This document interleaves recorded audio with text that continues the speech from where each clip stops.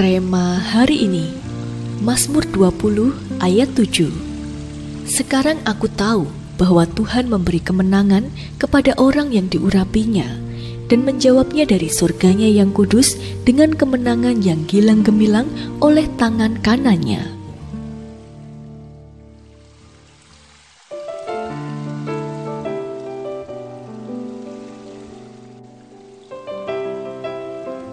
Tak ada pelita yang bisa menyala tanpa minyak. Tanpa minyak yang bisa dibakar, tak ada api yang bisa dikobarkan. Bila minyak habis, cahaya api pun padam dan kegelapan kembali menguasai malam. Seperti pelita yang membutuhkan minyak, demikian pula manusia roh kita membutuhkan minyak urapan agar roh kita bisa berkobar.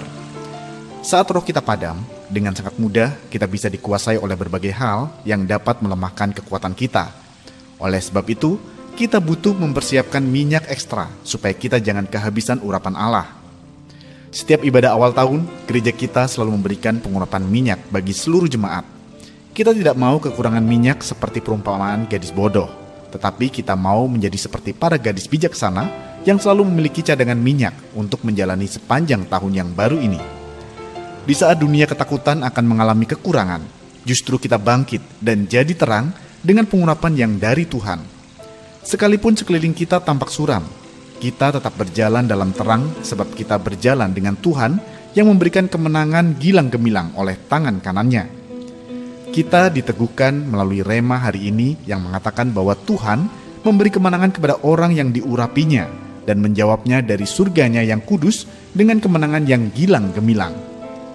Mari, jadikan pengurapan awal tahun yang sudah kita terima sebagai momen ilahi yang akan mendatangkan terobosan sejak awal tahun. Kita mau menjalani tahun seperti para gadis bijaksana yang selalu memiliki ekstra minyak.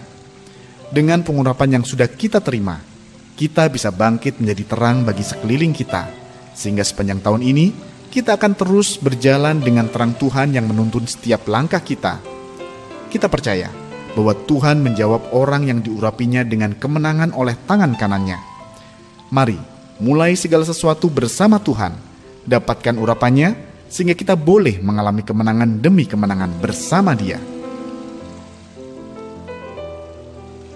Bagaimana Anda akan mengawali tahun yang baru? Mengapa minyak urapan penting? Bagaimana agar terobosan dan kemenangan dapat kita peroleh?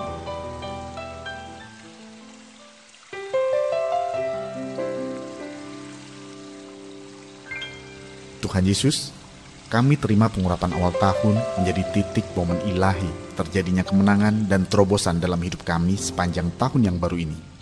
Di dalam nama Tuhan Yesus, kami berdoa. Amin.